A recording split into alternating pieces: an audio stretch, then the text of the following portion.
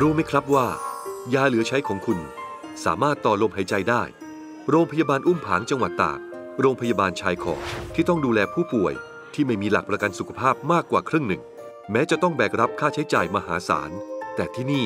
ก็ไม่เคยปฏิเสธคนไข้ และพร้อมให้บริการกับผู้ป่วยทุกสัญชาติ โดยไม่มีเงื่อนไข เชื้อโรคเนี่ยมันไม่เลือกสัญชาติถ้าไม่ควบคุม สุดท้ายปัญหามันจะลุกลามใหญ่โตไปกว่าเดิม แล้วเราควบคุมยากกว่าเดิม โรงพยาบาลอุ้มผางจึงเปิดโครงการ รับบริจาคยาเหลือใช้ เพื่อนำมารักษาผู้ป่วยยากไร้ ในการดูแลกว่า 70,000 ชีวิต ยาที่ได้รับจะถูกนำมาตรวจสอบคุณภาพ คัดที่ใช้ได้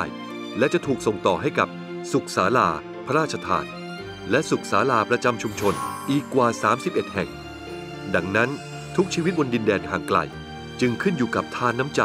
และบทบาทสำคัญของโรงพยาบาล ไร้พรมแดนแห่งนี้ครับยาเนี่ยเป็นปัจจัยหนึ่งในปัจจัยสีที่เราต้องการเป็นอันดับต้นๆแล้วต้องการตลอดไปด้วย มียาบริจาคก็ส่งมาเถอะครับเพราะโรงพยาบาลมันใช้ยาหลากหลาย แล้วถ้าใช้ไม่ได้เราก็จะส่งให้ที่อื่นใช้ต่อด้วย เราไม่ทิ้งนะครับเราจะทำให้เกิดให้เกิดประโยชน์คุ้มค่าที่สุด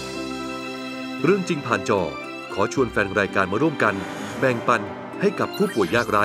ด้วยการบริจาคยาเหลือใช้ หรือสมทบทุนในการจัดซื้อยา โดยคุณผู้ชมสามารถส่งต่อความช่วยเหลือนี้ได้ ตามรายละเอียดที่ปรากฏอยู่ในขณะนี้ครับ